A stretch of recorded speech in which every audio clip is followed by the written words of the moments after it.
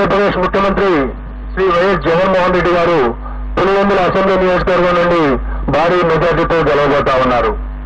అలాగే సిదిరి అప్పలరాజు గారు ప్రస్తుత మంత్రి పలాస నుండి ఓటమి చవిచూడబోతా ఉన్నారు. అలాగే ధర్మాన ప్రసాదరావు గారు శ్రీకాకుళం అసెంబ్లీ నియోజకవర్గం నుండి వారు గట్టి పోటీ ఎదుర్కోబోతున్నారు. నేను ఎక్కడైతే గట్టి పోటీ అని సం- సంబోధిస్తానో అక్కడ మా మార్జిన్ ఆఫ్ ఎర్రర్ ఏదైతే ఉంటుందో ప్లస్ ఆర్ మైనస్ త్రీ పర్సెంట్కు లోబడి ఫలితం ఉండే అవకాశం ఉంటుంది. కాబట్టి plus or minus three percent ఉన్న దగ్గర నేను గట్టి పోటీని సంబోధించడం జరుగుతుంది. అలాగే పీడిక రాజన్న దొర సాలూరు అసెంబ్లీ నియోజకవర్గం నుండి గెలుపొందబోతా ఉన్నారు.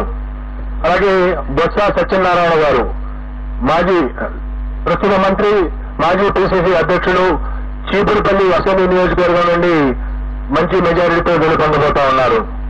అలాగే గుడివాడ అమర్నాథ్ గారు రాష్ట్ర ఐటీ శాఖ మంత్రులు గుడివాడ అమర్నాథ్ గారు గతంలో అనకాపల్లి నుండి ప్రాతినిధ్యం వహించారు. ప్రస్తుతం గాజువాక నుండి పోటీ చేస్తున్నారు. వారు ఓటమి చవిచూడబోతా ఉన్నారు. అలాగే పిలిపి విశ్వరూప్ గారు వారు అమలాపురం శాసనసభ నుండి పోటీ చేస్తున్నారు.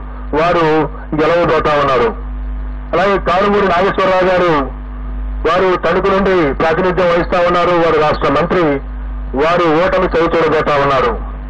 అలాగే చెల్లిపోయిన వేణుగోపాల్ గారు రాజమండ్రి రూరల్ నుండి ప్రాతినిధ్యం వహిస్తా ఉన్నారు. మంత్రి వారు కూడా ఓటమి చవిచూడబోతా ఉన్నారు. దాడిశెట్టి రాజా వారు తొలి అసెంబ్లీ నియోజకవర్గం నుండి ప్రాతినిధ్యం వహిస్తా ఉన్నారు. వారు గెలవబోతా ఉన్నారు.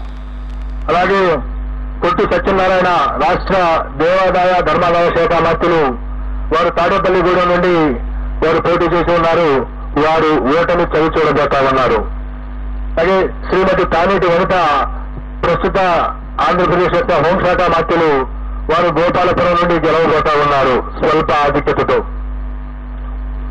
అలాగే జోగి రమేష్ జోగి రమేష్ గారు ప్రస్తుత రాష్ట్ర మంత్రి వారు పెనమలూరు నియోజకవర్గం నుండి గతంలో పెనమ నియోజకవర్గం నుండి శాసనసభ్యులుగా ఉన్నారు. ఈ ఎన్నికల కోసం పెనమలూరు నుండి పోటీ చేశారు. వారు గట్టి పోటీ ఎదుర్కొనబోతా ఉన్నారు